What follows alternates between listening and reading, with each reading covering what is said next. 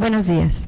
La Universidad Autónoma de Baja California, a través del Instituto de Investigaciones Culturales Museo, les da la más cordial bienvenida esta tarde a la conferencia Feminismos y Juventud, reflexión teórico-metodológica desde los estudios culturales, que en breves momentos impartirá nuestra invitada, la doctora Priscila Merarit Viera Alcázar, de la Universidad Autónoma Metropolitana Unidad Xochimilco, a quien damos una cordial bienvenida a este foro universitario. Antes de iniciar, me voy a permitir leer algunos datos de nuestra invitada.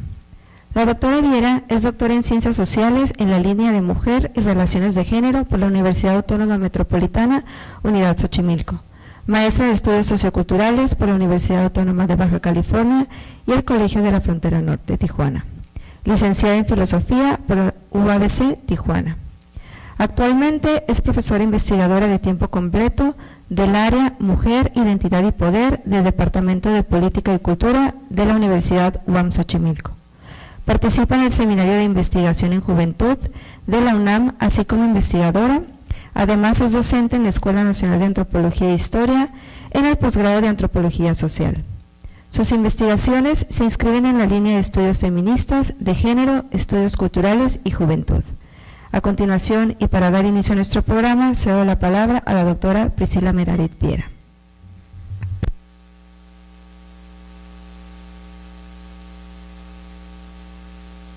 Bueno, bueno, ah, ya.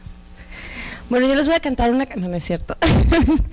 bueno, primero, eh, pues muchas gracias por, por la invitación a, al instituto, a Areli, que hacía ya mucho tiempo que, no nos encontrábamos y bueno, encontrarnos ahora es muy, muy padre. Ah, ahí está.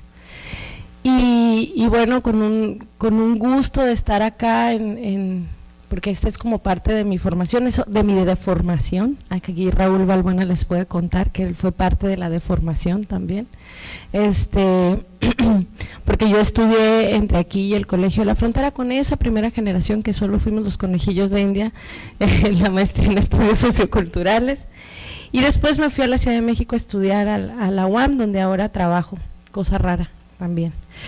Pero bueno, eh, pues eh, cuando Areli y yo platicamos de la posibilidad de venir, me quedé pensando que, de qué les puedo hablar que no sea eh, relacionado con cosas que yo trabajo que están vinculadas con la música. Y como yo pensaba que iba a ser así, en un, en un saloncito y que nos íbamos a ver con los estudiantes, dije, ah, pues podemos hablar justo de cómo eh, en este proceso de construcción, de construcción teórica he abordado el tema de, los feminismos y juventud, que ha sido un proceso, no siempre hablaba yo desde una perspectiva feminista, yo pensaba antes también en una perspectiva de género, y cómo ha sido el proceso de construir en conjunto, ¿no? Entonces, por eso, eh, pues pensé en este título de Feminismos y Juventud, reflexión teórico-metodológica desde los estudios culturales, porque si bien se dieron cuenta con mi currículum ahí medio, medio raro, es muy interdisciplinario y e indisciplinado. Lo que quiere decir que con qué es con lo que yo más me identifico dentro de mi proceso de construcción eh, epistémica y es definitivamente con los estudios culturales, ¿no? que permiten abordar el tema de los feminismos y de las juventudes de manera mucho más compleja, pero también eh, como más libre y también vinculada con más molestias hacia la academia. ¿no? Entonces me parece importante como decir que de ahí viene esta reflexión. Y como es Feminismos y Juventud, les quiero presentar un video que seguro ustedes ya vieron, pero no sé si lo estoy haciendo bien. aquí está. Que seguro ya vieron, pero que me parece como, pues muy adorno.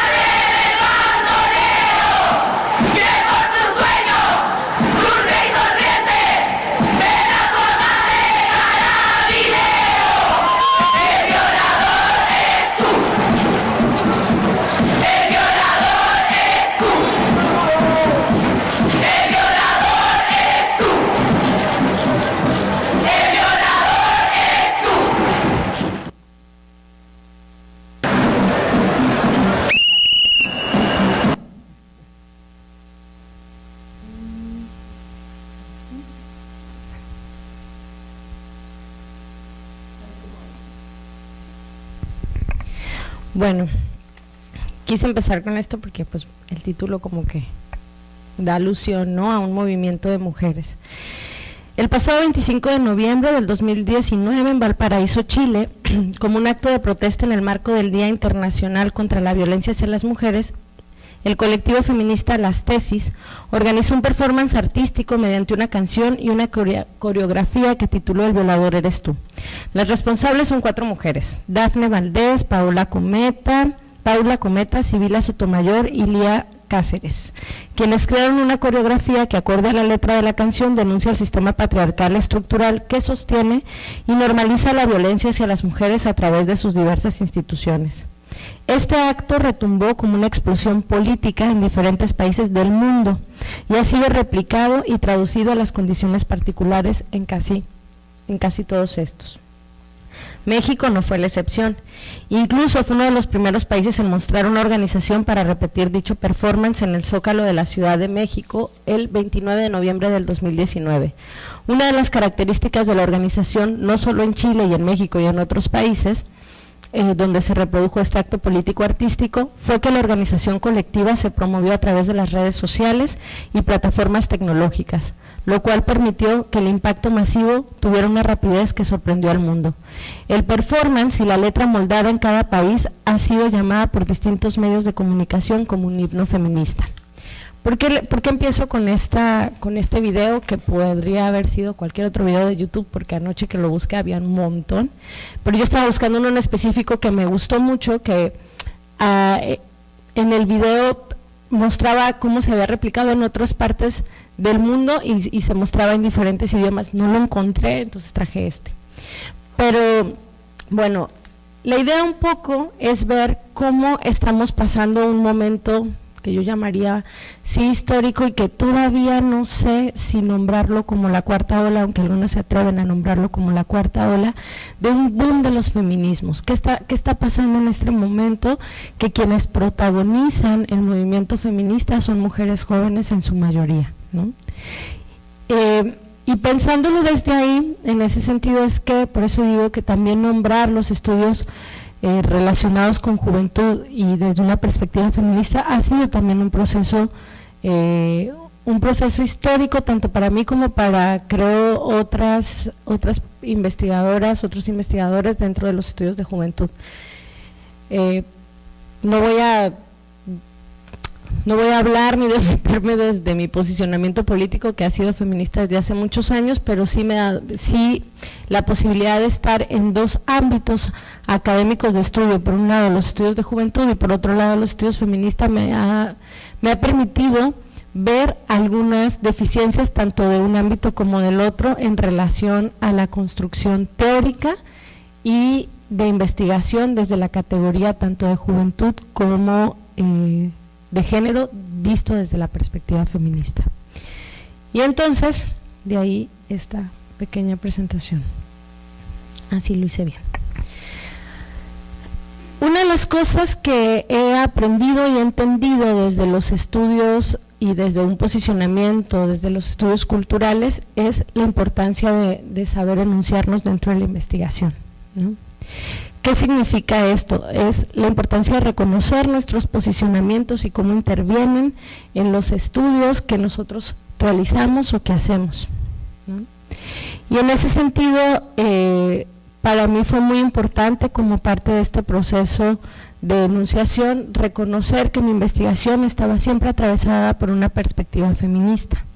Pero ¿qué implica esta perspectiva feminista? Eh, esta sí este esquema que les estoy presentando me ha ayudado mucho a entender cómo se articula una categoría con otra categoría. Primero entender que estudiar a la realidad desde una perspectiva de género era aceptar al género como una categoría normativa y no como la salvación de la visibilización de las mujeres o de los cuerpos disidentes o de los cuerpos feminizados, sino como una categoría que ha sido utilizada históricamente para normar los cuerpos y para operar como un mecanismo de poder en estos cuerpos. Es decir, no solo los cuerpos, sino como diría Teresa de Lauretis, los cuerpos, las actitudes, las acciones e incluso la construcción del pensamiento de lo que significa ser hombre y ser mujer. Entonces creo que si estudiamos desde una perspectiva feminista es fundamental eh, reconocer al género como una normatividad y como una estrategia política para reposicionar sí a las mujeres y a otros cuerpos disidentes, pero que siempre corre el riesgo de volverse otra vez una normativa. ¿No? desde las instituciones. De ahí que ahora todos los estudios y los discursos de las instituciones que vinculan de, ah, vamos a poner una perspectiva de género, vamos a hablar esto desde una perspectiva de género, tienden a despolitizar a los cuerpos y tienden muchas veces a volver a generar estereotipos, a generar y a reproducir la normatividad de forma binaria y heterosexual. Entonces, porque así es el sistema patriarcal, binario y heterosexual. Entonces, esto es lo primero, entenderlo. Y después, eh, bueno, yo he estudiado por muchos años el tema de las mujeres en la música, y veo a Raúl porque digo, ah, sí, él me leyó, este, el tema de las mujeres en la música y, y por ahí el, como qué significa ser mujer en escenarios no propios para mujeres, ¿no? sobre todo en, los escenarios de rock y ahora otro tipo de escenarios en los que he estado como yendo de metiche, por decirlo así. Y entonces cuando yo, yo empecé mi investigación, yo hablaba solo de género, no había, y pensaba en las mujeres en espacios no propios para mujeres, y punto.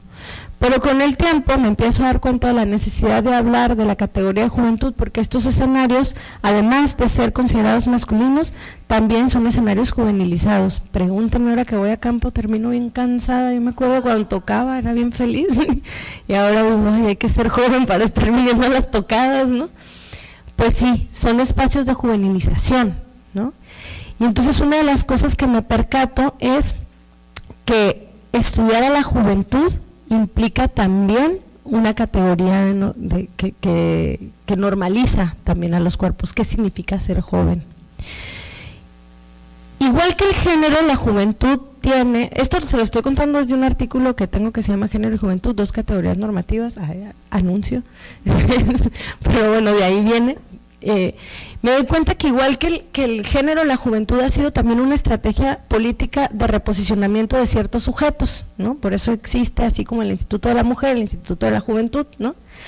Y entonces me doy cuenta que también se convierte en una categoría que normaliza cuerpos a partir de la edad, como el género a partir del sexo.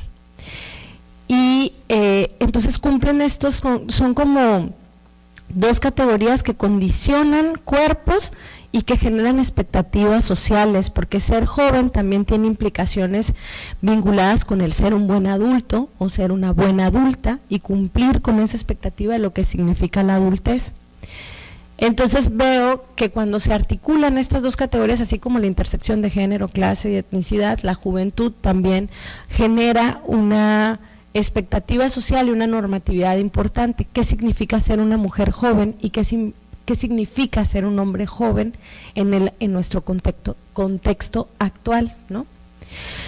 Y en ese sentido, este, pues bueno, me, me, abro a hacer un análisis distinto también de la escena rockera en mi caso, o de la escena del, musical, porque incluso ser parte de, de esta escena, pues implica tener un cuerpo joven, y entonces ahora ya con esto podemos entender la chavorruquez en el rock, ¿no? O sea, ah, claro, por eso los Rolling Stones, aunque tengan 70 años, se ponen Converse y, ciertas características vinculadas con la juvenilización. Bueno, estos han sido como para mí eh, estas dos categorías, verlas como normativas, me han permitido hacer un análisis desde que yo que yo me posiciono desde los estudios culturales y desde los y, por ende desde los feminismos como muy importante para entender que todo todo estas dos normatividades recaen en los cuerpos y el cuerpo es fundamental en la configuración del sujeto. Este cuerpo no pensado como, como un cuerpo eh, separado de la mente, sino más bien como una construcción compleja y política de las y los sujetos. Y algo que es muy importante, todo esto lo dice Hall, lo dice eh, Grossberg, lo dice Angela McRobbie, no me lo estoy inventando, pero se los estoy contando así, ¿no? Eh, y algo que es muy importante es entender entonces que la cultura no puede ser pensada sino desde esta articulación que genera con el poder. Yo creo que esta es una de las características fundamentales de posicionarnos dentro de los estudios culturales, entender que la cultura no puede ser analizada de otra manera, sino es como estas relaciones de poder que se conciben constantemente entre los sujetos y que genera estos cuerpos donde en efecto el sujeto también tiene agencia. Esto es muy importante. No, no hablo de empoderamiento, hablo de agencia. ¿no? Esto es fundamental, no me gusta el término empoderamiento. Y después, pues ahora sí, pensar en, qué implica hacer un estudio desde los estudios culturales con ciertas metodologías. ¿no? Bueno, primero, eh, para mí ha sido, esto es así como que les estoy contando mis tips de investigación. y, era la idea de tener tips de investigación con, con otras y otros estudiantes. Yo espero que a todas les sirva un poco, pero ha sido entender que la experiencia es un eje de análisis fundamental para entender la construcción de las subjetividades, pero también de las identidades, y entendiendo estas identidades móviles, ¿no? O sea, como lo dice Stuart Hall en identidades culturales, no entendiéndolas como eh, identidades estáticas, dadas, no, sino en esto, en esto tiene todo que ver la posibilidad de entender a los sujetos como complejos, como en procesos constantes de transformación y como agentes, ¿no? O diría por ahí, creo que es Espinosa, que últimamente me ha gustado este término, pero no lo han dado mucho, pero se los voy a lanzar, ¿no?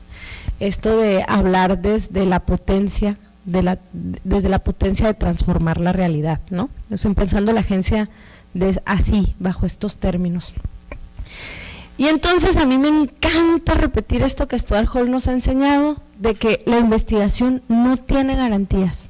¿No? Es algo, o sea, vieran cómo se siente uno bien cuando te das cuenta que no hay garantías en la investigación porque se te es como, ay, qué bueno, nada de lo que yo diga no es estático, sino me puedo echar para atrás en todo momento, así como, bueno, esto lo dije hace dos años, ahorita yo también ya pienso, no hay garantías en la investigación y esto relaja mucho también la presión que pueden tener al estar haciendo sus tesis. Entonces, entonces es, bueno, sí, pero hay que tratar, espérate, espérate Daisy, hay que tratar también de sí entender que no hay garantías, pero tratar de explicar, incluso por una ética de la investigación, lo más posible, eh, lo más posible fidedigno que la realidad nos pueda lanzar y también entendiendo que tenemos un compromiso político, esto es muy importante, con quienes trabajamos.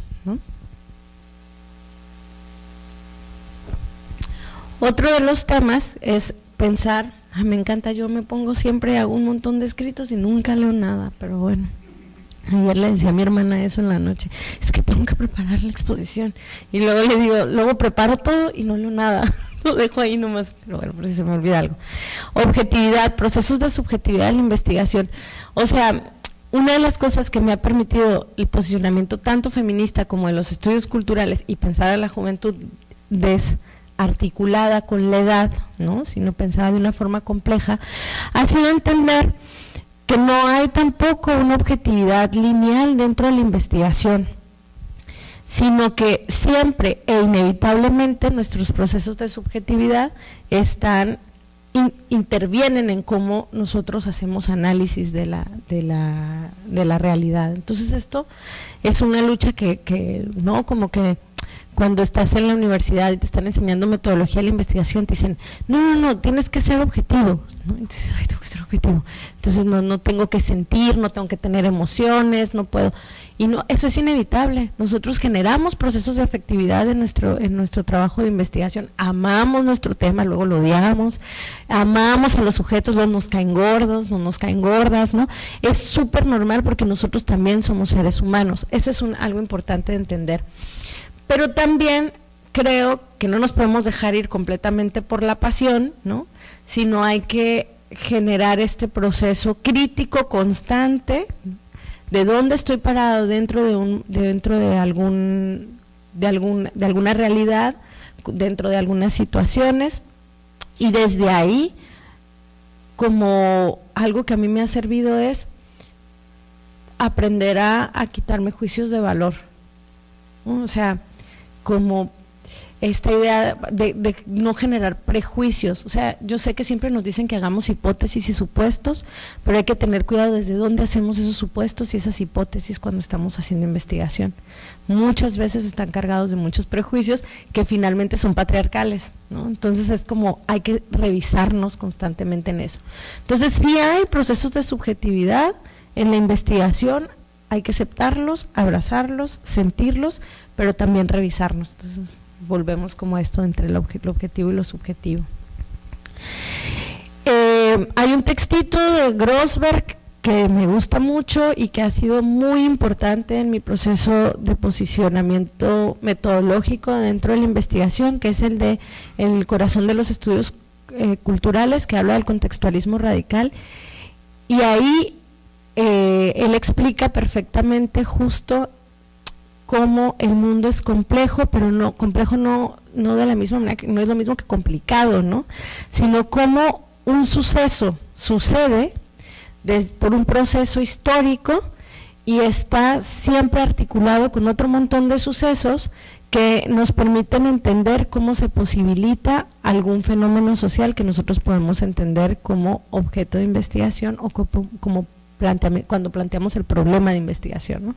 El problema social sucede porque hay una historia detrás, y eso es muy importante, y esa historia genera la posibilidad, es el contextualismo radical, genera la posibilidad de que algo suceda. Esto me pasó, ahora hace poco escribí un artículo que todavía no sale, pero que va a salir en un texto que, coordina la doctora Mónica Cejas, me pasó al estudiar, al, al ponerme a reflexionar desde una autoetnografía, los feminismos en Tijuana.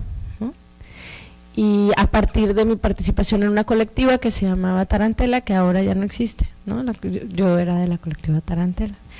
Y pues en esa colectiva pues están todas mis amigas de toda la vida, del pan rock, de los eventos, eh, de las colectivas feministas, desde la colectiva feminista binacional, con la otra campaña, desde que estaba en la maestría y desde antes de que estaba en la licenciatura. Entonces yo empiezo a darme cuenta de la importancia de hacer una genealogía para entender cómo se había posibilitado esa colectiva.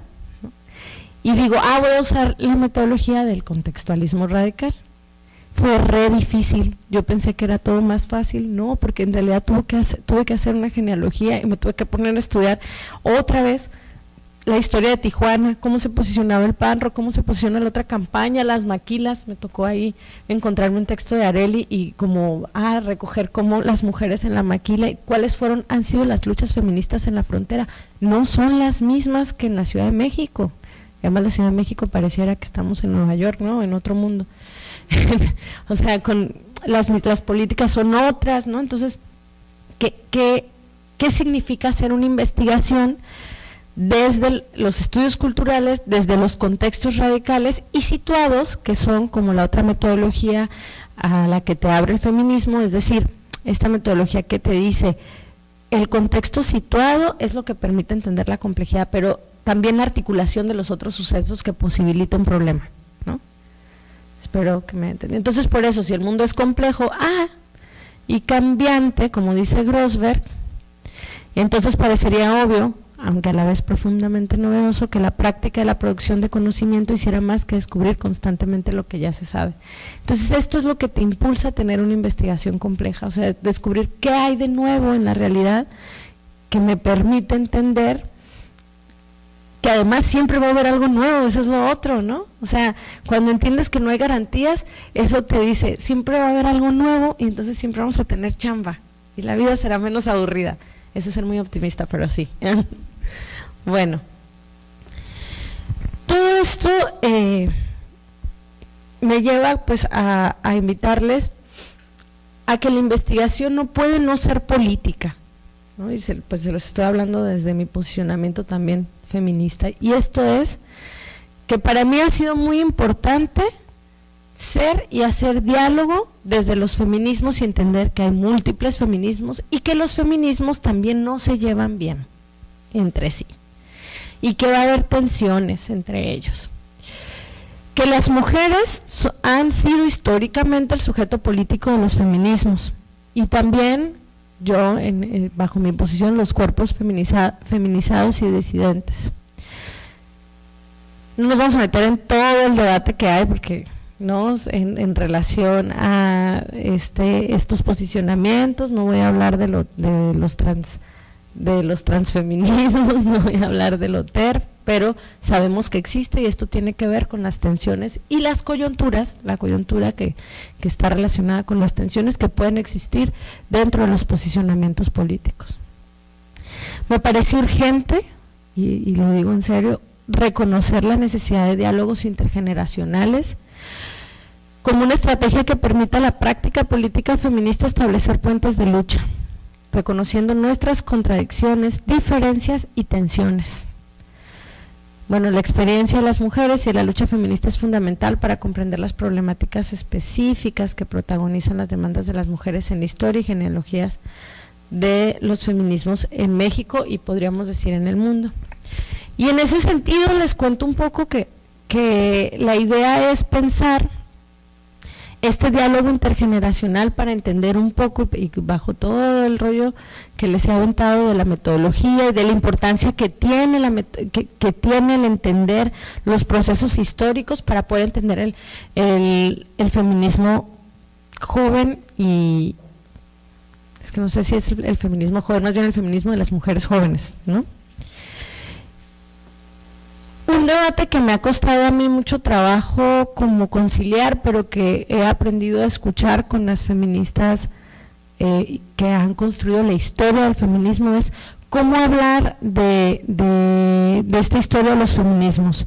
Hablarlo como olas, como etapas, como genealogía, desde dónde, desde dónde nos posicionamos para hacer, para historizar a los feminismos.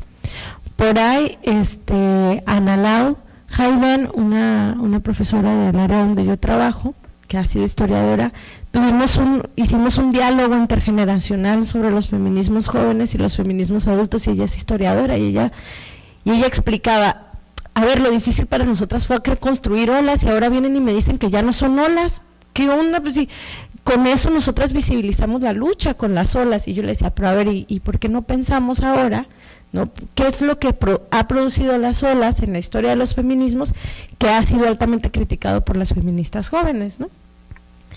Y una de las cosas en ese diálogo que nos damos cuenta es que las olas han generado clasificaciones y han reproducido eh, clasismos, clasismos y privilegios dentro del mismo feminismo. Y entonces ella dice, ah, bueno, pues es que viéndolo desde ahí, y tuvimos todo un diálogo con esto, y también estamos escribiendo algo de diálogos intergeneracionales. Pero entonces decidimos, bueno, pero para entender la historia y, la historización de los feminismos, eh, hay que entender, una de las cosas, por ejemplo, que ella me decía que me parece importante contarles es lo que significa la metáfora de la ola. ¿no? La ola, y, por ahí otras, otras feministas lo decían, tiene que ver con este llegar y arrasar con, un, con una estabilidad histórica que permite entonces instaurar otras reglas. Entonces las olas tenía que ver con este cambio generacional también del movimiento feminista y de luchas y de demandas. ¿no? Las demandas van cambiando históricamente, entonces por eso es la ola. Es una ola que quita lo que no sirve y, deja como, como lo no. Entonces es, es interesante ¿no? El, el, término también de la, de la ola. En México hay tres etapas que Analao logra ver, lo, voy a hablar sobre esto. Una es entre 1970 y 1980, que le llamaron los feminismos de la nueva ola. Estos feminismos, las demandas que tenían, no, no tienen que ver con los feminismos sufragistas, porque esos estuvieron antes, ¿no? Ella empieza a hacer la historización desde estos que están que están relacionados más con las luchas de los derechos sexuales y reproductivos, la lucha por el aborto, que la seguimos teniendo. Esto es algo muy interesante. Vean las demandas, porque las demandas siguen siendo casi, casi las mismas. ¿sí? Eso no ha cambiado, que es, yo cuando miré un documental casi yo, o sea, yo creo que lloré un montón de veces porque dije, seguimos teniendo la misma lucha desde los setentas, ¿no? Les voy a leer un pedacito de esto que escribimos.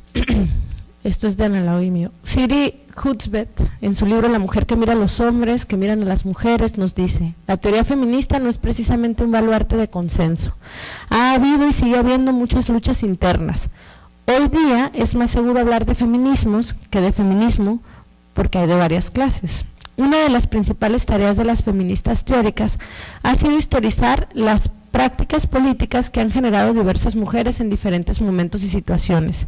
Un intento de ello fue el pensar a los feminismos a través de la metáfora de las olas, la cual también nos puede servir para pensar los cambios generacionales relacionados con prácticas sociales y culturales de jóvenes. Para Agnes Heller, el uso de la metáfora de las olas permite comprender cuando un movimiento social que siempre es cultural y por lo tanto político, llega y se funde con otro movimiento que le antecede, provocando cambios y transformaciones de raíz. En ese oleaje, las instituciones sociales y políticas también se adaptan a los cambios, producto de una ola de sujetos que exigen enardecidas, enardecidos, en el caso de las mujeres feministas, cambios para ser consideradas como sujetos de derechos. El movimiento feminista aparece en México con una primera ola en 1970 como resultado del agotamiento del desarrollo estabilizador en el país y con el antecedente inmediato del movimiento del 68, el movimiento estudiantil del 68, donde muchas mujeres estuvieron presentes, aunque podríamos hablar de algo que data desde 1940 con el movimiento sufragista. Ana Laura Iben nos habla de tres etapas históricas que marcan características específicas en México. 1970-1980, los feminismos de la nueva ola. Fueron activos, incluyentes, con algunas temáticas, pero en su agenda estaban ausentes no solo la política, sino también el sistema jurídico nacional, dice Libartra.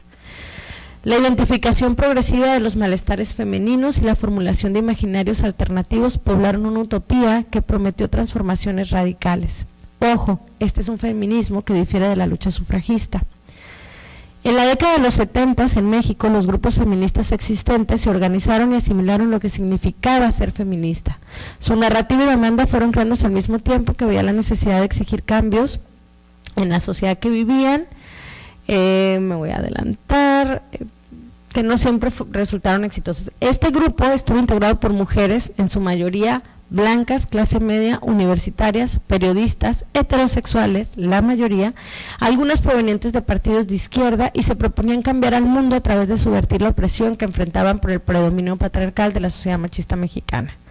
Pensaban movilizar su rabia con herramientas que la incipiente teoría feminista de la época les proporcionaba, porque era principalmente gringa, pues, ¿no? La que había.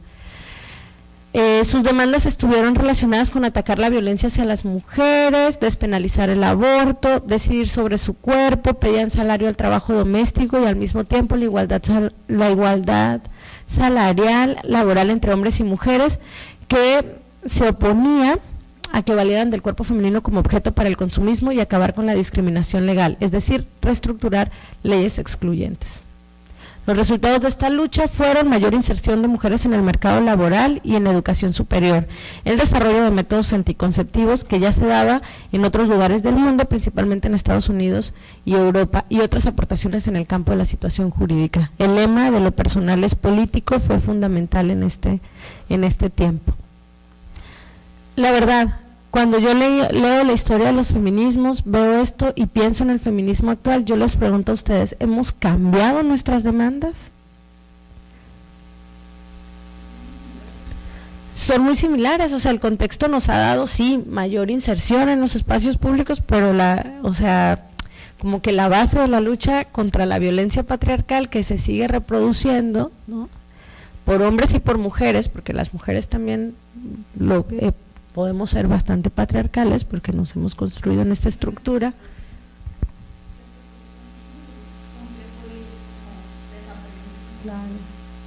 Claro, totalmente. Entonces, es, es bastante fuerte. ¿Qué es lo que sucede en las siguientes eh, etapas, olas, décadas relacionadas con los feminismos? Pues en 1980 y 1990 la institucionalización de los feminismos. Es cuando eh, tomamos al género como una estrategia política para poder tener incidencia en las instituciones gubernamentales y entonces decir, oigan, pues sí, acá estamos nosotras en las calles, en México no hubo mucho movimiento en las calles, ¿eh? o sea, fue más como más dentro de la institución, incluso dentro de, los procesos educativos. Entonces vamos a hablar, vamos a, queremos que haya perspectiva de género en todo, ¿no? Todo lo que es los 80s y los 90 surgen las, eh, en la, incluso en la universidad la, la posibilidad de hacer, no había tanto así como posgrados, ¿no? pero pensar en eh, talleres con perspectiva de género. ¿no? Eh, en, la UAM Xochimilco, por ejemplo, en los 80 es cuando no, no era la especialización en estudios de la mujer, no era la maestría.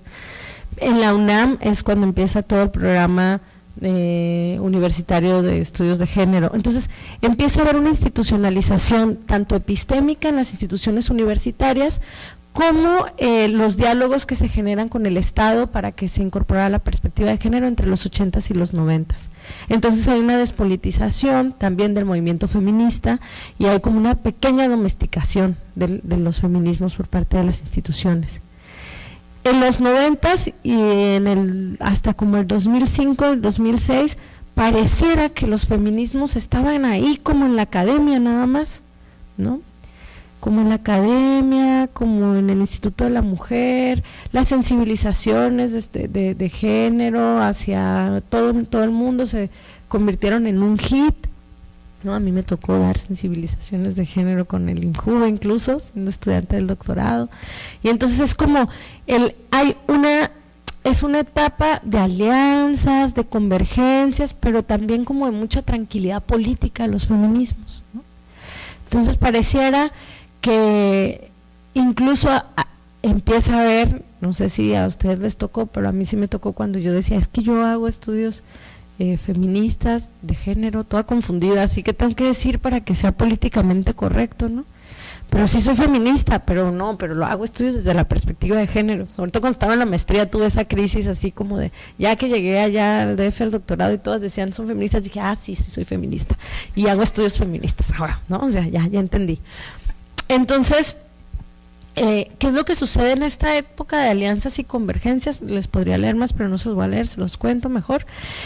Pues sucede que eh, las demandas siguen estando presentes, pero hay también la producción de un discurso de simulación. Es decir, tenemos perspectiva de género, pero la violencia no se termina ni se acalla, sino se empieza a, se empieza a disfrazar. ¿no? Entonces, en este momento histórico de alianzas y convergencias es como que, pues, ¿para qué hay feministas y ya todo está bien? Ya las mujeres vamos a la escuela, tenemos trabajo, ya tenemos algunos puestos de poder, pero por ahí se empieza a dar cuenta también dentro de la investigación que hay techos de cristal. Entonces, hay un discurso de simulación constante que se produce y se reproduce y claro, esto va a traer un hartazgo que nos va a venir con una nueva ola con una nueva etapa, con eh, una nueva generación de mujeres que dice, a ver, ¿no? O sea, mucha perspectiva de género por todos lados, pero seguimos teniendo un, un, un contexto de mucha violencia. Entonces la violencia patriarcal normalizada bajo discursos de simulación es lo que, al menos yo en mi proceso de investigación, he logrado encontrar que detona esta nueva generación de feminismos. O sea, es una violencia estructural e institucionalmente normalizada, que entonces hacía parecer que ya no había violencia, ni dentro de las universidades, que también esa es una de las características de los feminismos jóvenes, ni dentro de las universidades, ni frente al Estado, ni en los espacios laborales. O sea, esa simulación de tranquilidad, esa simulación de paz hacia las mujeres, donde en realidad había una, un, silenciamiento institucional estratégico, es lo que realmente ha detonado a los, a los feminismos jóvenes y a esta nueva generación. Es decir, como no, no es cierto, las cosas no han estado bien. Eh, algunos de los, de los detonantes que, que, que he logrado, que he estado así como registrando, esto tiene que ver con una con la investigación que llevo ahorita a cabo en la universidad, que es feminismos y juventud y música.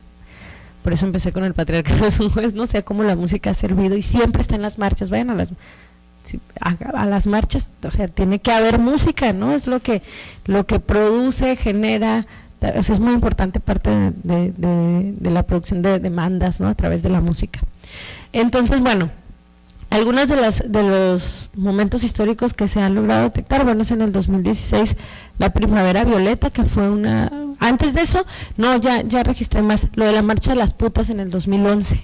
¿no? 2010-2011 que surge la marcha de las putas, a partir de una declaración, no sé si se acuerdan por ahí cómo surge, pero es a partir de la declaración en Canadá de un político que, que hace alusión a, un abuso, una violación a partir de cómo iba vestida la chava. Y entonces eso se replica porque aquí en Tijuana, en esa época, unos policías, eh, para no detener a una chava, le, le exigen que hagan un striptease. ¿No? O sea, striptease, así se dice. Sí, o sea, ¿no? Que les haga un baile y que no sé qué a la madrugada. Entonces esto genera indignación y surge la marcha de las putas, que es en función de yo me he visto como quieres y, ¿no? Y si me he visto así, no es mi responsabilidad un abuso, ¿no? Sino eso tiene que ver con una violencia estructural más fuerte. La marcha de las putas se hace en, México en diferentes estados, se hizo también acá, ¿no? En Baja California, se hizo en Sonora, se hace también en, la Ciudad de México en el 2011. En el 2016 viene la Primavera Violeta, también igual. Lo, interesante es ver las influencias, ¿no? De estas detonantes. La Primavera Violeta eh, también viene de, de, Europa, ¿no? A partir también de una manifestación contra las, la, la, violencia machista y, un poco bajo la misma lógica. Hay dos, dos demandas que siguen estando vigentes intergeneracionalmente que son muy importantes. Todo lo que tiene que ver con la violencia en las calles y en los espacios públicos y también en los espacios privados, o sea, la violencia hacia los cuerpos de las mujeres y una articulación así intrínseca que es eh, la lucha por el aborto. Entonces el aborto y, la violencia que están articulados, ¿no? que se complejizan dentro del movimiento feminista, pues sigue presente. Por eso en el 2018 todo el movimiento de la Marea Verde, que en realidad viene de Argentina desde el 2015, pero en, México está ya más en el 2018, pues ha sido fundamental dentro de esta nueva generación de, de feministas. ¿Cuál es la diferencia entre las feministas jóvenes, las feministas bien? Una, hemos yo he intentado hacer varios diálogos intergeneracionales. Hicimos una asamblea hace poco en, la Ciudad de México con, con todas las colectivas que participaron en la marcha de la Diamantina, ¿no? que, que se hizo así súper famosa. Y en esta asamblea invitamos a feministas eh, institucionalizadas más grandes de la universidad, estuvo por ahí Ana Lau, estuvo Raquel, que ahora se me va el nombre de la Universidad de Puebla, estuvieron varias, ¿no? Y una de las cosas que, que más se debate es el uso de las tecnologías. ¿no? O sea, una de las formas de organización del de la nueva generación feminista es el uso de las tecnologías. Que las feministas más, más adultas, como dice Ana porque no, no, le gusta decirse feminista vieja, dice las feministas adultas, las feministas maduras. Y yo le digo, no, no, no, porque entramos en adultocentrismos, espérame, estamos contra eso, ¿no? No, no hay madurez acá, las feministas adultas, pues me dice, bueno, las feministas de la otra generación, tenemos un debate cómo enunciarnos, ¿no? Bueno, estas feministas se muestran como totalmente incapaces, que nosotros no sabemos usar el, así, el Facebook, no sé, y las, las, había un grupo de hack feministas y dice, bueno, pues hay que aprender, ¿no? O sea, también no es como que no puedan hacerlo, la posibilidad de actuar frente a eso sigue existiendo, es muy como decir, ay, no sabemos, entonces no entendemos estas lógicas, ¿no? Pero bueno, esto es, a esto es lo que me refiero con la necesidad urgente de este diálogo intergeneracional, porque el feminismo joven parece que tiene amnesia de la historia que, que, les antecede y de toda esta memoria de lucha que no es nueva, ¿no? Es una lucha que ha permitido sí tener pequeños, pequeños pasos, pero no significa que hemos, que, que se ha terminado, ¿no? O sea, no se ha terminado, seguimos teniendo exigencias. Las denuncias masivas del Me en el 2019 fueron bien, bien interesantes y nos han llevado hasta este nuevo hashtag ni un paso atrás, ¿no? Y, también eh, las denuncias masivas y los scratches nos han traído las tensiones más fuertes dentro de los feminismos, ¿no? Porque esta, los scratches resultan y, y las denuncias masivas resultan como una forma de organización colectiva autónoma que no tiene ningún mecanismo de regulación, entonces eh, obviamente cualquiera puede denunciar a cualquiera. Y esa denuncia, si bien permite generar justicia social desde otro lugar, también permite reproducciones del patriarcado, ¿no? porque tampoco tenemos como esas herramientas. Entonces, o sea, esto es visto desde una forma muy crítica. Yo aplaudo muchísimo los scratches, pero también hay que, hay que ver y lograr ver esas coyunturas y esas tensiones que tienen estas manifestaciones. Y bueno, la marcha de la diamantina que vuelve otra vez hacia el tema de la violencia en, en, las calles, ¿no? A partir de la, de la violación a la niña por cuatro policías, que después era que sí, sí se hizo, que sí no se hizo, que el discurso, no vamos a entrar en eso. Lo importante es estos pequeños acontecimientos, cómo detonan otra vez una lucha feminista protagonizada por jóvenes que las adultas o que, la otra, que otras generaciones ven como violentas. Es bien interesante, ahorita antes de, venir, eh, en el chat del, del SIG, de la UNAM, mandaron lo que acaba, acaba de pasar, un, un suceso así como de violencia con las chicas que tienen tomada la Universidad de, Filosofía, pero que quisieron tomar eh, la universidad, que la Facultad de Derecho, y al final sale hablando el, directivo de la Facultad de Derecho, dije que no iba a decir nada de esto, hermana, pero ya lo estoy diciendo. Este, sale hablando el de la Facultad de Derecho y dice, eh, no, evidentemente no eran estudiantes de aquí porque dijeron muchas groserías, entonces seguro no son estudiantes de aquí. Y además violentaron a los profesores, les echaron pintura verde y salió un señor así ya todo grande de traje con la pintura verde, así como... Y yo dije, esas son las violencias, ¿no? Esas son las denuncias de violencia hacia las jóvenes. Ah, pues rayaron el, eh, monumentos históricos, este, le echaron brillantina, esas son las violencias cuando las mujeres las están matando en las calles, ¿no? cuando lo que nos, o sea, las denuncia, la denuncia fundamental de estos detonantes y estas marchas son inevitablemente los feminicidios. O sea, México sigue teniendo los primeros lugares de feminicidios.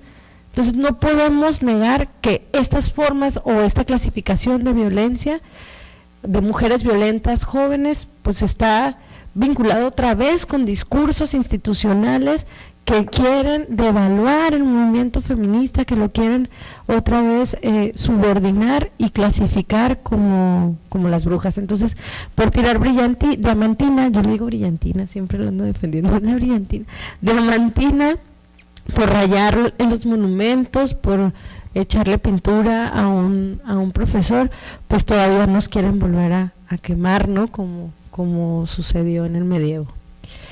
Feminismos jóvenes o jóvenes feministas, yo me gusta jugar como con esto, ¿no? Un poco también pensando, haciendo una crítica a estos discursos eh, adultocéntricos dentro del propio feminismo, que dicen como no, no, eh, pues nosotras no sabemos ahí cómo operan.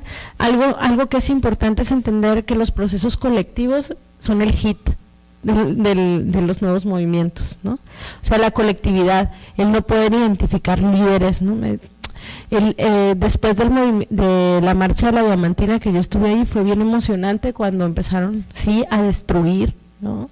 el, el metrobús yo me acuerdo que yo agarré así una amiga con la que estaba en la marcha y le digo, yo vámonos. Y, y, entonces empiezan a gritar, ¿no? Como estamos todas juntas, no hay que irnos. Y yo, ah, no, no, vámonos. No, o sea, hay que quedarnos así como. Y después fue como, ay, ¿por qué no quebré nada? No lo hice, ¿no? era, era el momento acá.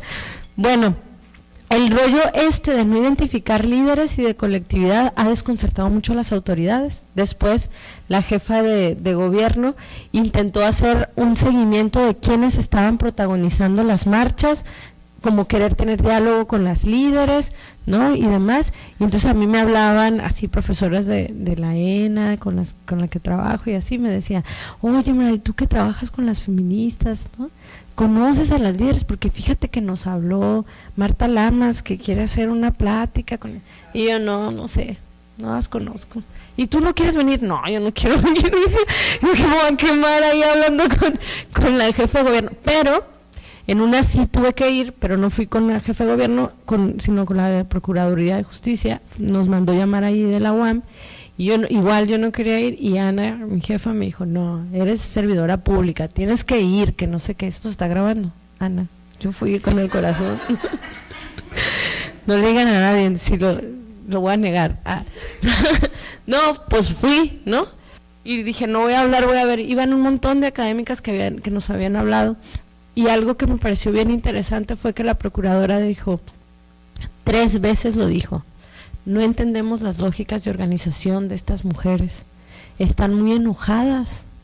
Y yo decía, pues sí, claro que están enojadas, porque yo pensaba, yo voy a salir de aquí, de la Procuraduría de Justicia, que está en la Doctores, y me voy a tener que ir corriendo a mi casa, porque la Doctores está bien hardcore, ¿no? Y entonces, claro, aquí estoy hablando de violencia y no sé qué, y yo en realidad estoy bien asustada porque saliendo de aquí está bien hardcore, que, que llegue a mi casa bien, qué bueno que traigo el teaser, pensaba, ¿no? O sea, ¿cómo no entienden las lógicas? O sea, ¿cómo la institución habla desde un discurso, ¿no? De, otra vez de simulación.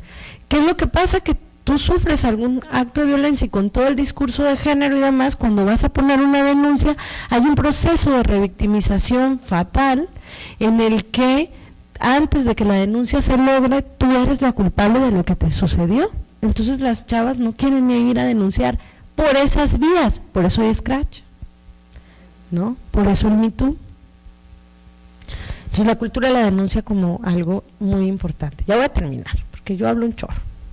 Sin embargo, me parece fundamental entender que hay tensiones en, el movimiento feminista que nos han obligado, cuando trabajamos, por ejemplo, en procesos colectivos, a hacer pausas, a continuar y a generar otras estrategias de poder y también a tener rupturas en el, en el, en el hacer feminista.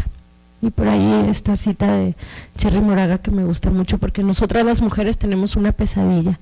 Tememos ver cómo nos hemos fallado la una a la otra, tenemos miedo de ver cómo hemos incorporado los valores de nuestro opresor a nuestros corazones.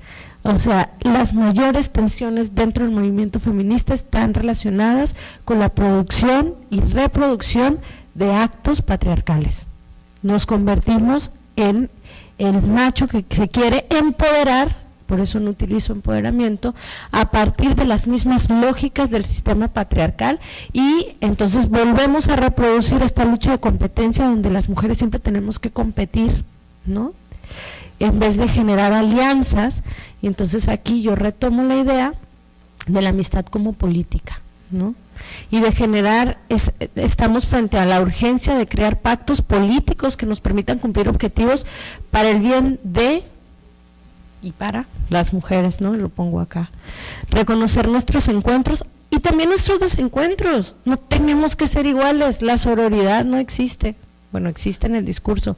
Pero no todas tenemos que ser amigas, pero sí podemos generar objetivos políticos. Esas alianzas son importantes. Si algo tenemos que aprender de los vatos son este tipo de pactos, ¿no? Y estos pactos que nos permitan construir en conjunto, que nos permitan ser críticas entre nosotras, pero no, no que si no volvemos a lo mismo. No me apaguen el micrófono, esto es sabotaje. Ah. bueno, y es necesario entonces hablar de nuestras tensiones, hablar de nuestras pausas, hablar de nuestras coyunturas de forma intergeneracional, pero también dentro de. Muchas gracias.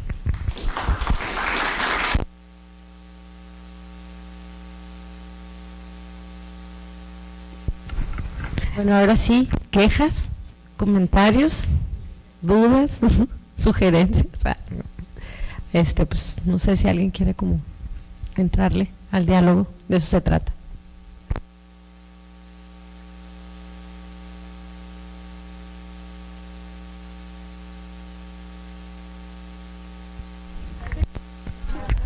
Oh, oh. Bueno, no solamente agradecer eh, tu conferencia, la verdad es que me gustó de bastante de principio a fin. Eh, ya, solamente. Creo que ha sido la mejor. Ha sido la mejor que he visto. este, en un buen tiempo acá en, el museo. Tengo que preguntar algo, a ver.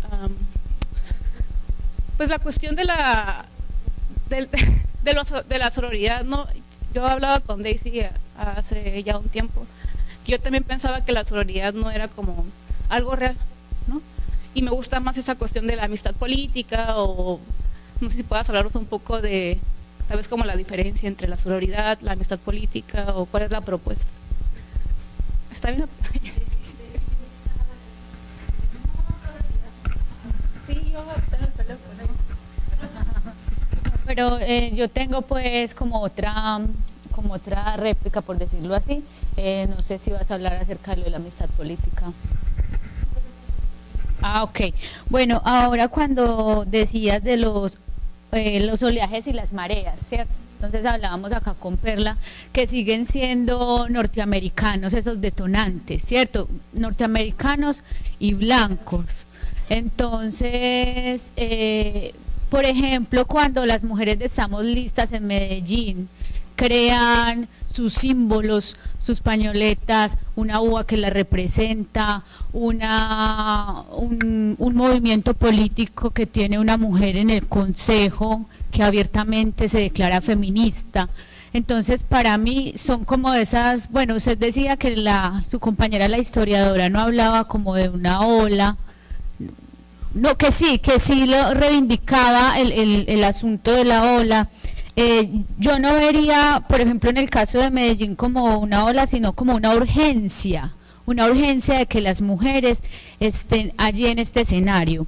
Otro asunto de el diálogo intergeneracional y la amnesia, porque con las chicas colaboradoras con las que estoy trabajando, ellas me dicen, ah, bueno, no, es que nosotras para Medellín fuimos muy importantes porque eh, la colectividad al, llamarse brujas era hacía mucho eco en el movimiento social de la ciudad, pero cuando me acerco a las antecesoras también, que así muy, muy parecido en, en los años en México 70 y 80, eh, también se nombraban brujas, entonces cuando refería a usted que es que claro hay una amnesia y yo le decía Perla y, es que tampoco las mujeres tienen que saber que es que que hay esa historicidad si no generamos ese diálogo para que nos podamos enterar, ¿cierto? Mm, no, era, ahora de pronto recordaré otras cosas, pero era como más, más eso. Y acerca de la sororidad y de la amistad política, trabajando con las, con las chicas, hay unas que incluso por lo que se, las situaciones, las experiencias que se han dado en los colectivos eh, difieren de la sororidad, pero también creen que para que haya una amistad política usted tiene que tener un vínculo con la otra, o sea, usted no establece un lazo importante con la otra porque sí. Eh, y también es referente a la sororidad y es que usted no tiene amar, que amar a todas las mujeres como no se ama a la humanidad en su totalidad pero sí también pienso que hay unas acciones dentro de, no sé si del movimiento feminista, de las mismas feministas, que mmm, entierran a las otras, es decir, que están todas las puertas abiertas para poder entregar su saber, eh, su experiencia, pero sus acciones eh, son muy nocivas. Pero esto más como una descarga.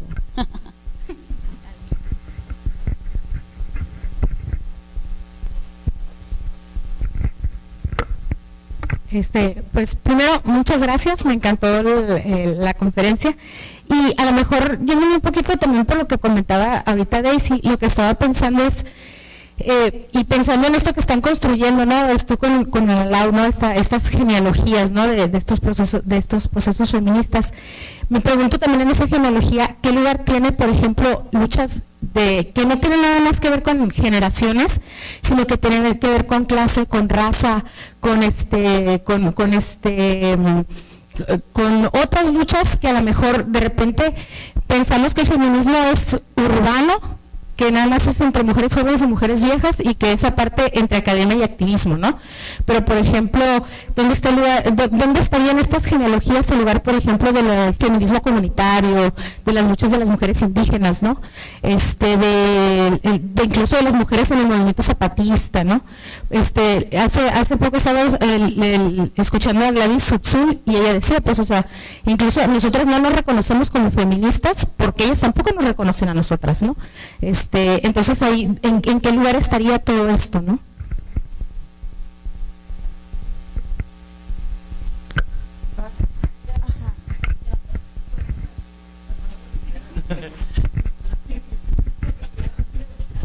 Igualmente, gracias por la conferencia.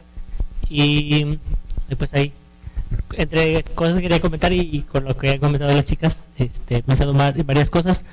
Primero, se, creo que eh, en estos últimos años con toda esta necesidad y todo este contexto que ha dado como, como resultado el escacheo público y el escacheo en redes sociales, me parece que es muy, muy importante como, sí, como reflexionar y pensar las propuestas que también se van a hacer desde el movimiento. O sea, creo que por un lado las situaciones de desigualdad y de poder que se ejerce desde las instituciones educativas, laborales, públicas, hacen que sea realmente muy complicado para las mujeres que viven violencia a veces hacer denuncias públicas, ¿no?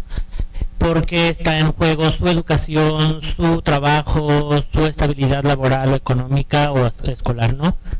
Entonces eso por un lado, y pienso como, bueno, yo también he sido servidor público y me he encontrado con el discurso constante de, ah, pues es que además todas esas denuncias pues deben ser falsas o son personas que solo quieren afectar a una persona inocente y esta cuestión también siempre en las instituciones de la necesidad de cuáles son las pruebas.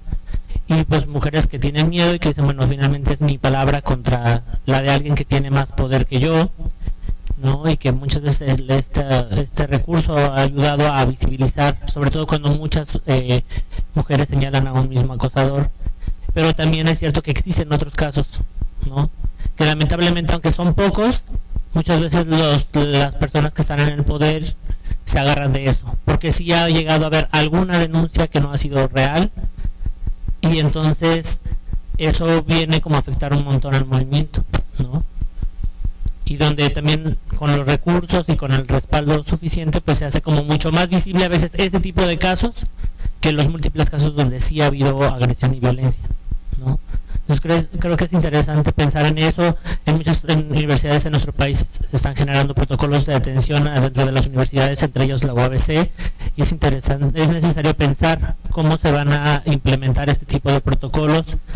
Eh, y bueno, y también un poco con lo que mencionaba Kenia ahora, pues sí, muchos de los feminismos jóvenes o las jóvenes feministas ahora, pues también están haciendo visible la violencia en las universidades porque son de las generaciones que ya tienen como, a lo mejor no son la primera, pero son la segunda generación donde ya tienen como una mayor certeza en su derecho a, la educación superior, que son universitarias, pero ciertamente todavía hay mujeres jóvenes que no han accedido a esto en nuestro país y es sería importante también voltear a verlas a ellas y cómo están viviendo el movimiento, ¿no? aunque la mayoría sean, universitarias, ¿qué están pasando con las mujeres que no están siendo universitarias actualmente? ¿no?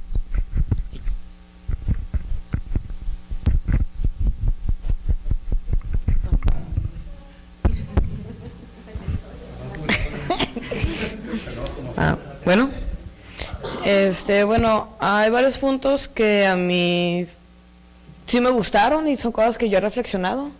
Por ejemplo, a mí me encantó la manera como como ese análisis histórico de los movimientos y también, o sea, en, mi experiencia, pues yo, o sea, yo me identifico como aliado y como ese adultocentrismo que hay en el feminismo y en el activismo. Y por ejemplo en el Scratch yo me acordé mucho de una vez, tiene que ver con esas este, diferencias y violencia que hay dentro de los feminismos para la comunidad trans. Entonces, este, como se medio escrachó, ¿no? Yo, yo no lo consideraría scratch, sino que hubo una situación y se puso como, a ver, morras, ustedes son las que conocen a tal persona, entonces ustedes pueden ser las que sepan más o menos qué onda, este, qué saben, ¿no? Y ahí saltaron, y sobre todo las, las feministas radicales, y empezaron con esta cuestión de mi carrera como activista y y feminista me da más poder que tú, entonces tú no eres capaz de cuestionarme a mí. Y entonces me recuerda mucho como esto que tú comentas de uno de los problemas de los feminismos o de las feministas jóvenes, de lo que yo entendí, es como el tener ese cuidado de no reproducir las mismas violencias patriarcales, eh, machistas, dentro de los mismos grupos y, y, y sobre todo grupos subalternos o o más o con menos poder que aquí podrían ser las mujeres trans, ¿no?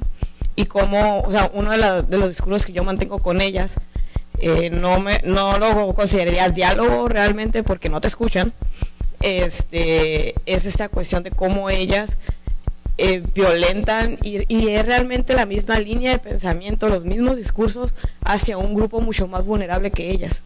Es como si, desde mi perspectiva, eh, las TERF solo, solo son las machos de las mujeres trans, porque es exactamente los mismos, los mismos argumentos, con, bueno, con otras, eh, otras palabras, pero al final son los mismos argumentos.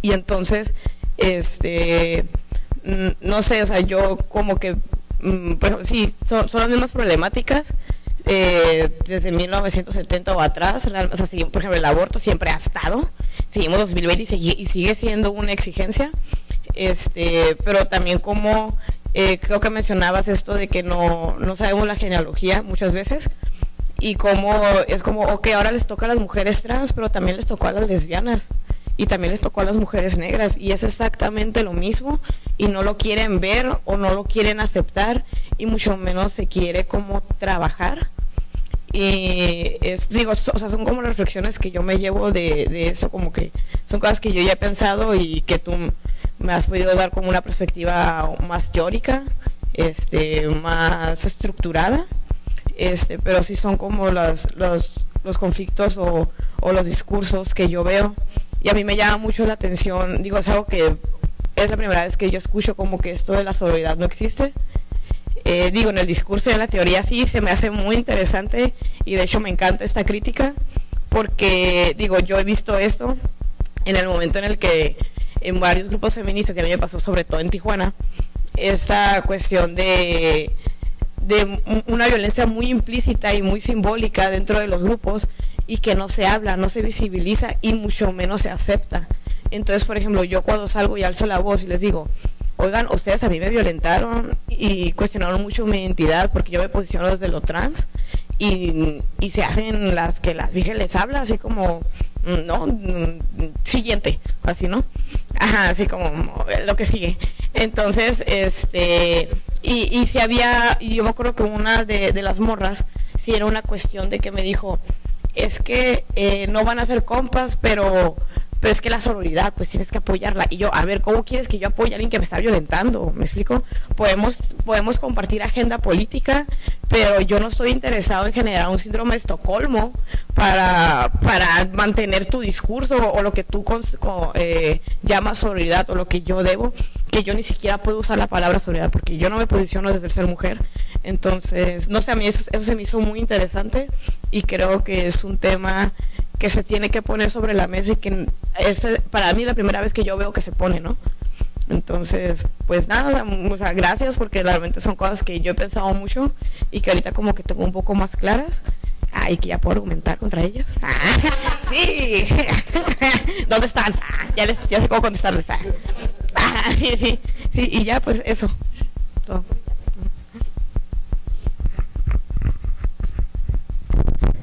Bueno, la sororidad incluso teóricamente sí existe, perdón, porque si no Marcela Lagarde me va a matar si se entera que por ahí anda alguien diciendo que no existe porque ella tiene todo un sustento teórico.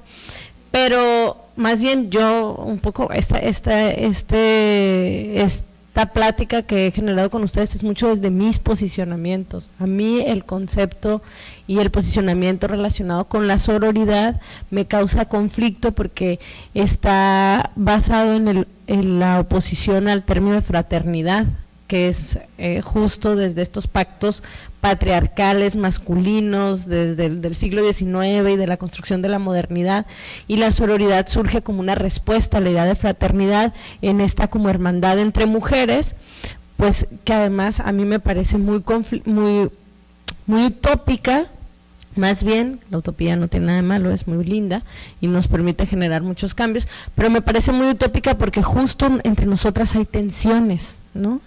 Y esas tensiones, si las tratamos de tapar como, no, todo está bien porque somos morras, ¿no? Pues no es cierto, no es cierto, o sea, a eso me refiero con, con la amistad como política, en efecto, yo apuesto por estos pactos que se construyen a partir de procesos afectivos, y que se pueden construir y se pueden generar y no es algo que yo me haya inventado, eso lo, lo, propone Margarita Pisano y, y, con Elda, no me acuerdo cómo, Gaviola, que es con, con quien no hablan de esta de estas ideas pero vienen vienen de otras autoras también.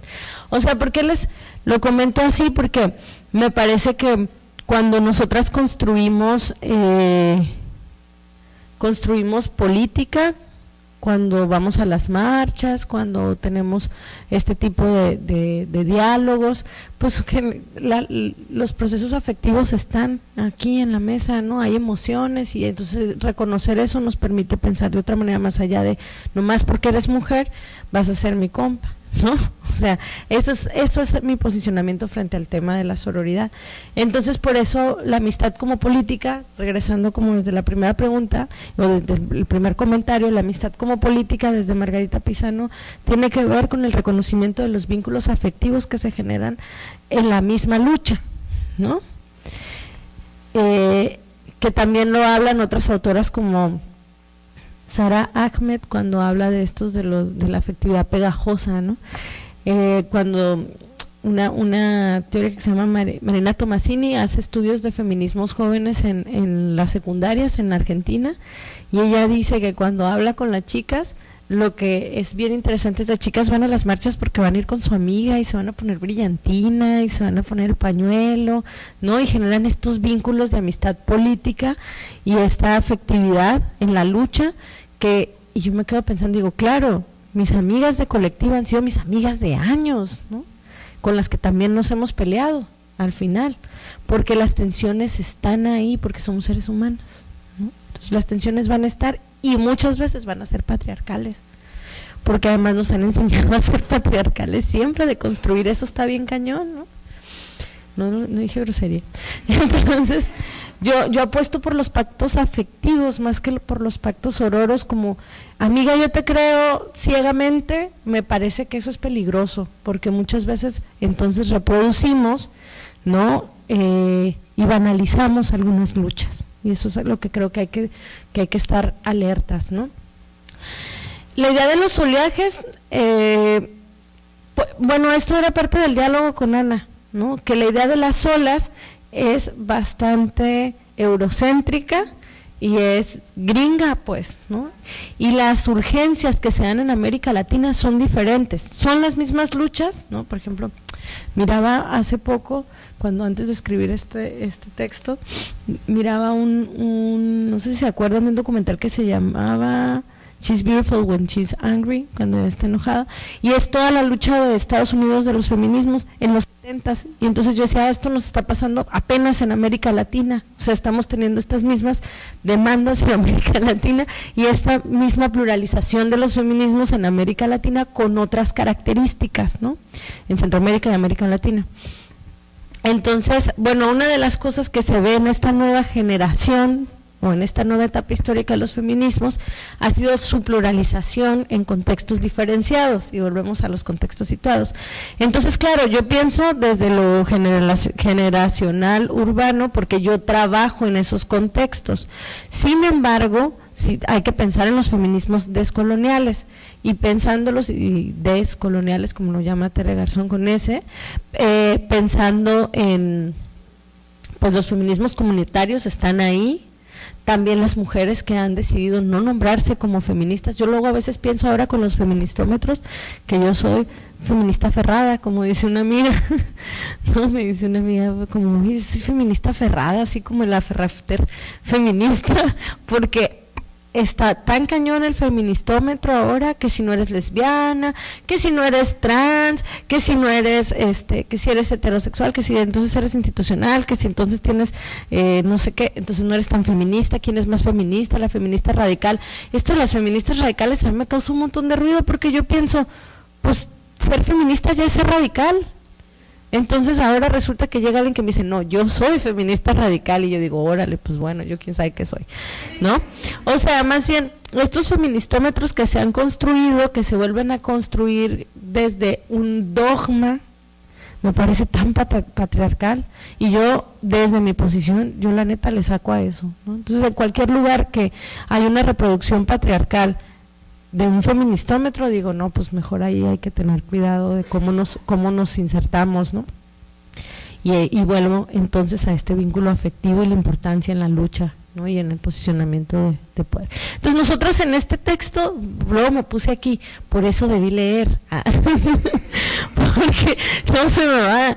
Pero nosotras, claro que reconocemos estos procesos de intersección como parte de la de, de los de la historia del feminismo, sobre todo en estas a partir del 2000 al 2000 a la, a la actualidad, el reconocimiento de la clase, la raza, la etnicidad y yo yo vuelvo a nombrar a la juventud porque no ha sido nombrada como tal. Hace poco fui a un encuentro eh, de estudios estuvo bien raro porque era de estudios de juventud en Cuba, que luego ahí tienen una idea bien adultocéntrica de la juventud, pero fui y había un taller de feminismos negros en medio del encuentro, entonces yo me emociono, voy al taller de feminismos negros, se habla de todo ¿no? lo que significa ser negra en Cuba y demás, nos, nos, pone a bailar la, señora que llevaba el taller, todo muy padre, nunca menciona la edad como un marcador de diferenciación. Y yo decía, estamos en un de juventud, de edad, ¿qué onda? No? Esto es a lo que me refiero. En lo que me he dado cuenta es que en los espacios de estudios de juventud, las mujeres son un sujeto, no están atravesadas por una normatividad. Y en los espacios feministas, la edad es un marcador de la construcción del sujeto. Entonces para mí el rollo de la edad ha sido, la edad y la juventud ha sido como, a ver, también es importante verlo porque no es lo mismo una mujer joven, de clase baja, indígena o negra, ¿no? Afro, afro, no es lo mismo que una mujer adulta, incluso entre mujeres, pues por eso los diálogos dentro del movimiento feminista, cómo están ahí atravesados por un montón de adultocentrismos.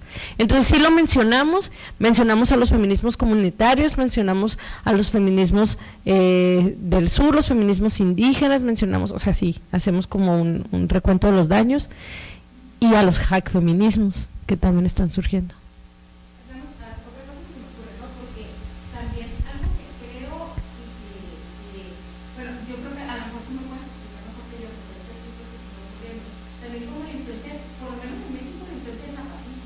Claro, Porque, claro. Este, muchas mujeres que ahorita están en colectivas, que están participando, muchas venimos de, de la otra, ¿no? Muchas. Y aparte, por ejemplo, las convocatorias que han hecho este, el SKLN para ir a, a las reuniones de mujeres han sido convocatorias que uh -huh. yo conozco mujeres de México, de Argentina, de Alemania, donde sea, que vienen así como. Pues, entonces, de repente, uh -huh.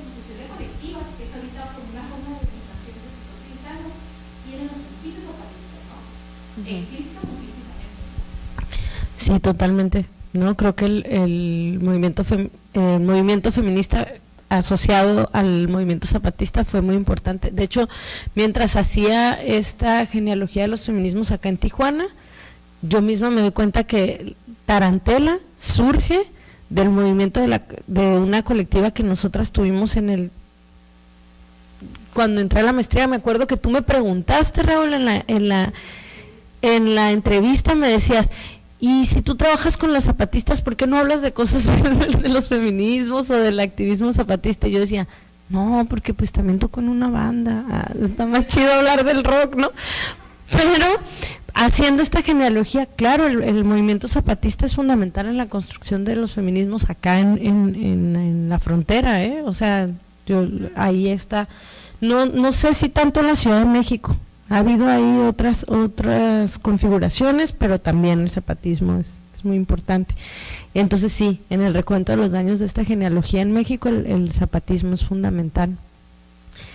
Eh, sobre los scratches, las denuncias, esto que tú comentabas, nada más yo pongo aquí que el, la cultura de la denuncia la cultura de la denuncia también, así como la conocemos ahora, con estos, con estas configuraciones de los scratches, de la justicia social, del Me Too, del ponle nombre al macho, del no sé qué, que se han hecho mucho a partir de las redes sociales y de la posibilidad de hacer denuncias masivas a través de las de, de, la, de las nuevas tecnologías, por decirlo de alguna, de alguna manera. Eh, ha sido bien interesante porque ha cambiado, ha transformado el posicionamiento de la denunciante, ¿no? Esto a mí me parece como bien maravilloso con esta, esta nueva estrategia, muy peligroso también, pero es, es bien maravilloso porque la posibilidad de denunciar está abierta y antes no existía esta posibilidad porque la revictimización era muy fuerte, ¿no?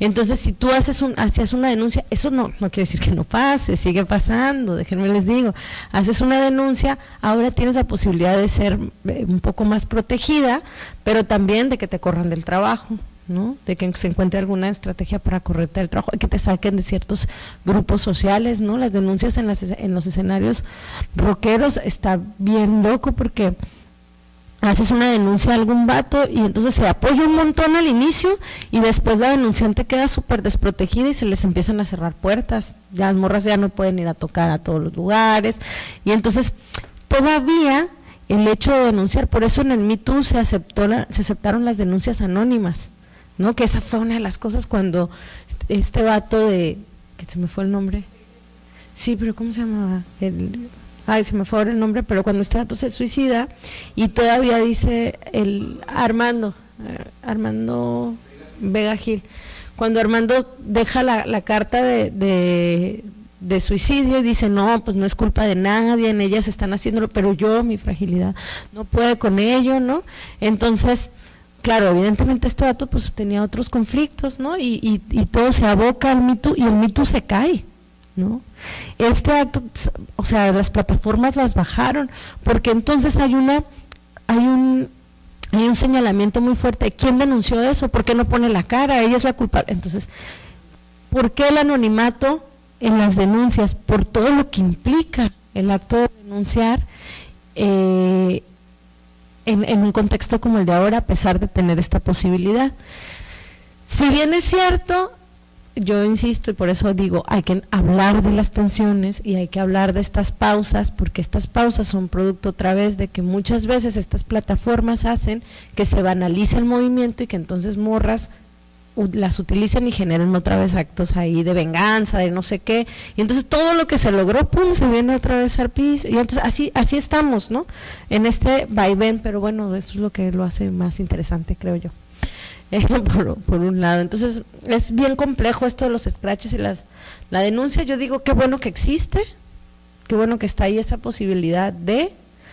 Eh, sin embargo, hay que reconocer que siempre va a haber la, también la posibilidad de que se banalicen estas, estas, eh, estas plataformas. Eh, definitivamente estamos en el tiempo de los protocolos y del feminismo pop. Yo cuando me dijo eh, cuando me dijo Arely, no, no va a ser en el salón, lo vamos a cambiar en el, al, este, al auditorio, yo me asusté, dije, ¿por qué? Ah, pues le puse feminismos y juventud y estamos en el feminismo pop, o sea, claro, va a ir un chorro de gente, dije, sí. Bueno, este, hay todo un rollo, ¿no? Incluso con lo del pañuelo verde, con, el, con la canción de El violador eres tú, hay una cooptación muy fuerte por el capitalismo de los feminismos actuales, no, no por nada, este, lo del Super Bowl ayer, ¿no? Y que las morras y todo el debate de que si reproducen o no el patriarcado con el cuerpo objetivado, si realmente están empoderando, si no sé qué, estaba viendo las noticias ayer. Hay una cooptación de los feminismos, ¿no? Eh, muy fuerte hay también, hay que tener una mirada de sospecha frente a esto. Yo creo que es importante no perder el, aunque me, súper emociona ver que Nike pone a morras protagonizando sus anuncios y que el feminismo está en todos lados. Hay que tener esa mirada de sospecha. Creo que es importante tenerla. ¿Qué está detrás de toda esta cooptación? ¿no? Eh, sobre todo lo que me preocupa y es algo que, creo que hay que como ponernos a decir, mm, pues es otra vez la producción y la reproducción de los discursos y de la simulación de los discursos ahora por el pop, ¿no? Y el feminismo pop. Eh, sin embargo, también aplaudo que exista este feminismo pop porque llega a, otra, a otras generaciones. ¿No? Y entonces permite generar que las, que las chavitas, no sé, yo siempre pienso en mis sobrinas, por ejemplo, y digo, qué bueno que mis sobrinas ahora puedan identificar que sentirse incómoda no está bien, lo platicábamos con mi hermana anoche, ¿no? Que puedan decir, ay, esto está raro, ¿por qué me, me, siento incómoda con, porque este vato me hace sentir incómoda o esta situación? Lo puedo decir, y eso es gracias al feminismo pop. ¿no? Sin embargo, pues bueno, no creo que nada es negro ni blanco, sino hay que estar siempre ahí como un poco yendo y viniendo qué está pasando. el tema de los feminismos radicales, del feministómetro, de el, conflicto este de que hay feminismos que no, que, que tienen un rollo transfóbico, ¿no? Este, pues a mí me parece alarmante, me parece que el discurso TERF es una de estas tensiones que se ha producido dentro de los feminismos que hay algunas cosas que logro entender y otras que me parecen muy absurdas, ¿no?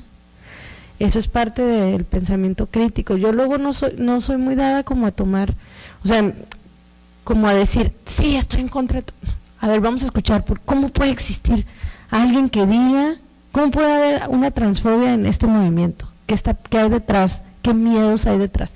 Y pues ahí hay unos miedos interesantes, ¿no? Que habría que ver sus propias historias. Pero bueno, eh, yo creo que también dentro de estos procesos hay que aceptar que hay posicionamientos irreconciliables. ¿no? O sea, hay que, esto tiene que ver con el aceptar nuestras diferencias, con el saber que a veces desde nuestras diferencias habrá con gente que no podemos trabajar y, que, y con las cuales no vamos a construir pactos políticos ni amistades políticas. Y que podemos decir, bueno, pues ahí está tu lucha, yo la veo, no interfiero en ella, tampoco me voy a poner aquí en el ring de, los feminismos, porque eso es reproducir lo que estoy criticando, pero puedo aceptar que mi posicionamiento y el tuyo es irreconciliable.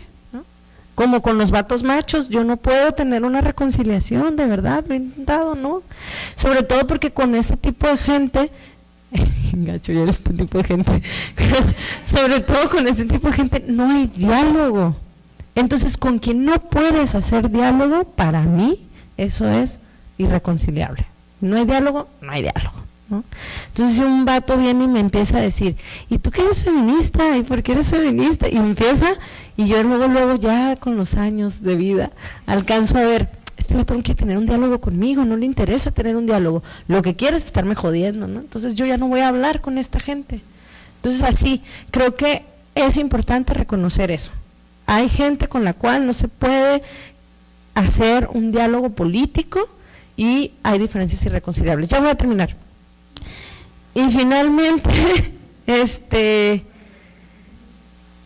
creo que es importante en la lucha feminista, al menos para mí, el reconocer que hay cuerpos feminizados y disidentes que también tienen una lucha y que pueden y que podemos compartir una agenda donde también podemos tener eh, momentos de reconciliación y otras de no reconciliación.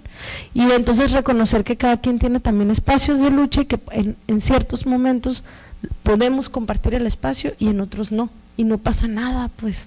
Eso es el aceptar que la sororidad, ¿no? Este, no tiene que ser así como un lema de sí, sí, a huevo, pues mira, lo tengo que aceptar aunque me cae bien gorda, ¿no? Está bien. No, pues no, no, no hay que forzarnos a eso. Hay que hacer objetivos políticos pequeños con gente con la que queremos trabajar y ya y a veces podremos trabajar con un grupo y a veces con otro. O sea, no somos no somos de nadie, pues. O sea, yo soy feminista para poder ser libre. Pues por eso los feministrómetros me molestan mucho, ¿no? O sea, si a mí me gusta ser feminista y he aceptado eh, este camino de vida para poder elegir libremente sin que nadie me juzgue lo que yo quiera hacer, ¿no? Entonces esto es lo importante, como tener, aceptar esto, ¿no? Ya, con esto termino. ¿Hay, ¿Hay más preguntas? ¿No? Bueno, yo nada más tenía una pregunta antes de que te vayas.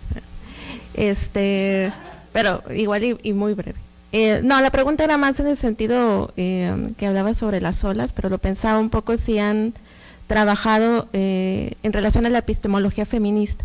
O sea, es decir, si vemos las olas que no podemos equiparar con, las, con la epistemología, con, sobre todo con el punto de vista y con el feminismo situado, pues cómo repensar estas olas también, o sobre todo una cuarta ola entre comillas, también como una nueva manera de pensarnos epistemológicamente desde los feminismos, ¿no?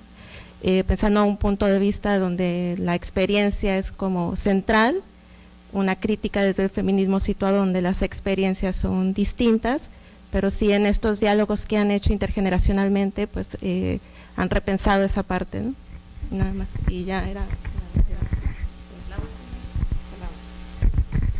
Bueno, este, pues era como a propósito lo que mencionas de reconocer las tensiones, los contextos. No sé cuál sea así tu lectura también breve sobre, eh, bueno, más bien si reconoces o consideras que hay una, un vínculo muy estrecho entre esto que vemos últimamente en las, podríamos llamar, naciones soberanas, ¿no? O sea, lo que ha pasado con esta avanzada de la ultraderecha, este, la introducción de las iglesias evangélicas que mucho tiene que ver en la toma de decisiones eh, sobre pues asuntos de esto, ¿no? O sea, de los derechos, el cuerpo de las mujeres y demás, este, y que se infiltran, ¿no? Pareciera como que se estuvieran infiltrando en los procesos democráticos y bueno, aquí están, ¿no? Tenemos a bueno, teníamos a un Macri, este, a un este, Bolsonaro, a un, estos gobiernos que se autoproclaman legítimos, ¿no? No sé si esta, este avance eh, de, de la extrema derecha tenga que ver con esta nueva composición, de esta nueva etapa histórica, ¿no? Del avance del feminismo, ¿no? Porque creo que también, como tú lo mencionas, un elemento central en todo esto, pues es eh, la, decisión sobre nuestros propios cuerpos, el tema ¿no? sobre eh, quién decide sobre nosotras, pues se ha vuelto algo pues obviamente que no podemos ignorar ¿no? y aparece en los debates públicos, en los espacios públicos, ¿no? vemos los rostros, los colectivos, las colectivas y demás. Entonces no sé si creas que tenga vinculación con esta nueva avance de la extrema derecha y a la vez el avance, pudiéramos decir, de los colectivos, del movimiento feminista en América Latina, México y Centroamérica también.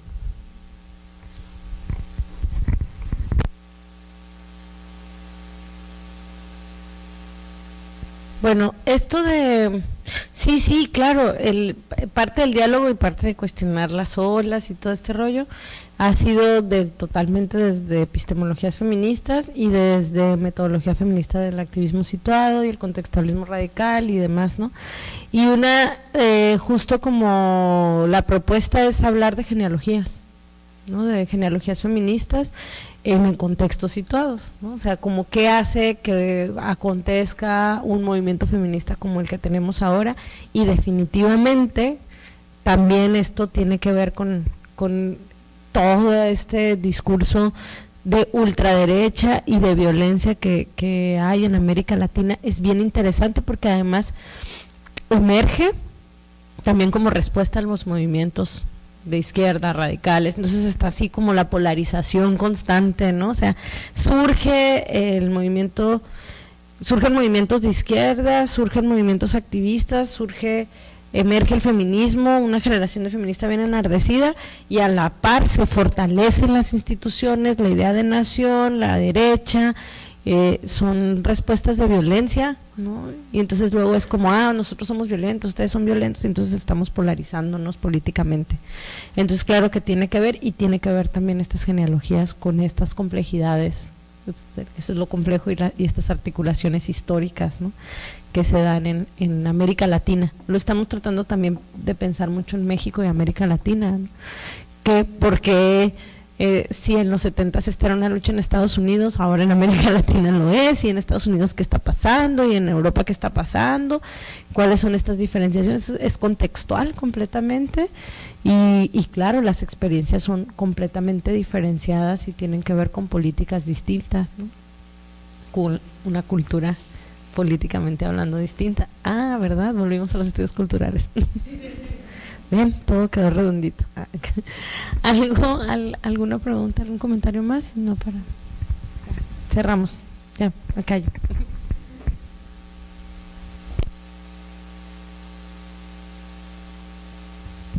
Agradecemos a nuestra invitada y a todos ustedes su apoyo y participación. Con esto damos por concluida nuestra sesión. Muchas gracias y tengan todos ustedes muy buena tarde. Eh, gracias.